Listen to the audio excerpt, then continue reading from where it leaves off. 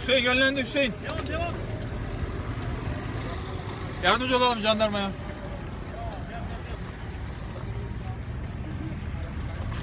Devam devam bekleme devam.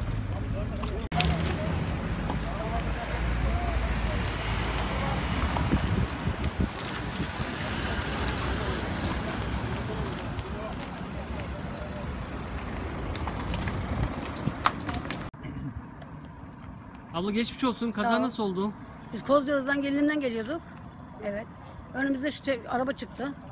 Ona vurma bize vurdu. Bize vurduktan geri döndü o tarafa. Bir araba daha vurdu. Öyle. Hatalı solama mı oldu? Evet hatalı solum oldu. Dün hatta kahve içmiştim.